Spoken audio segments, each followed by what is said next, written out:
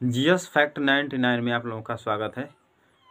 और आज मैं आप लोगों को छः ह्यूमन बॉडीज़ के बारे में ऐसी अमेजिंग जानकारियाँ देने वाला हूँ, जो शायद आप लोगों को जानना चाहिए और जानने के बाद आप लोग उस पर सोचने पर मजबूर हो जाएँगे।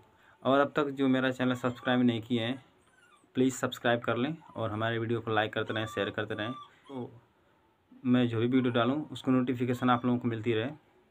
चलिए शुरू करते हैं। सबसे पहले चीज़ जो हमारी नाक होती है, उसको जो हमारी आँख हमेशा देखती रहती है, लेकिन जो हमारा मस्तिष्क होता है, वो उसको निगलेक्ट कर देता है। ट्राई करके देखिए।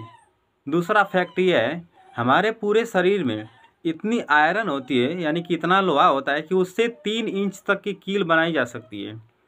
तीसरा फैक्ट ये है, अगर हमारे पूरे शरीर की नसों को जोड़ दें तो ये एक लाख किलोमीटर तक लंबी हो सकती है, यानी कि बासठ दशमलव एक तीन सात मील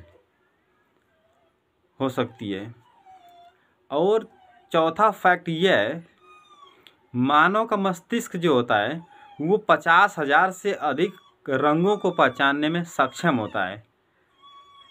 पांचवा फैक्ट यह है, जो त्वचा होता है, वो ह्यूमन बॉडीज यानी कि मानव शरीर का सबसे बड़ा भाग होता है, जिसमें रोज़ाना पचास हज़ार से अधिक टिश्यू उत्पन्न होते हैं और ये हमारे बॉडीज़ का यानी कि ये हमारे पूरे शरीर का 18 किलो के आसपास इसका वज़न होता है।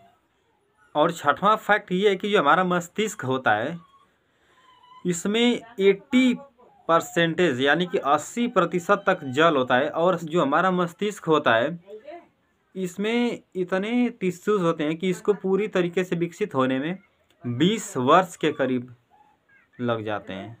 अगर वीडियो अच्छी लगी तो लाइक, सब्सक्राइब एंड शेयर।